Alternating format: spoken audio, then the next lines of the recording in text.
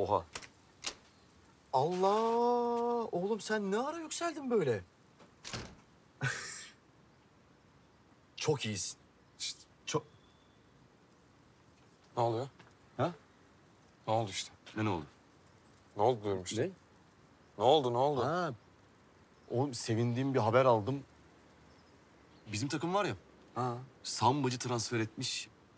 Harika. Ya neyse. Moralim çok iyi. Çok çok iyi. Bunu bozamam. Tamam mı? Ne diyeceğim sana?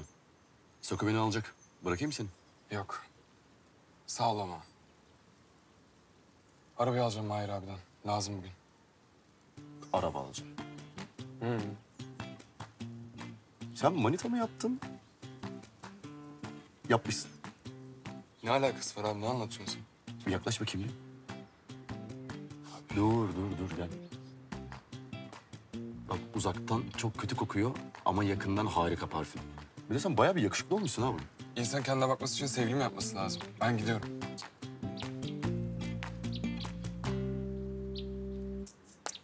Sende bir durumlar var. Ben bunu çözeceğim. Mert Bey.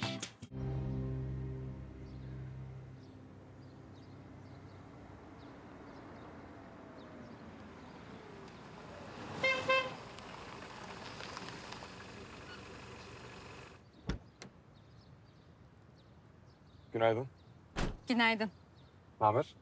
İyi ne olsun. Araba senin mi? Yok. Ya ödünç aldım. Ya böyle taksiyle zor oluyor dedim takip işleri. Sen bu işi bayağı ciddiye aldın bakıyorum ben. Yani. Ya Doğan Bey'in haklı olduğunu ispatlarsam...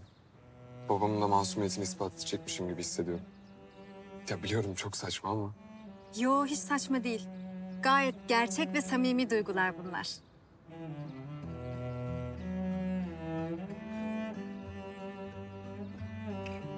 Bahar. Ya bugün işimiz bittikten sonra bir yerlerde oturup konuşuruz diyorum. Ne dersin? Ee, bilmem. Şey yani bakarız. Önce şu videoyu gönderenle bir görüşelim.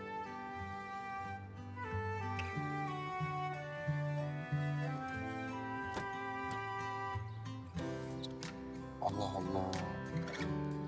Ne oldu ki şimdi ya?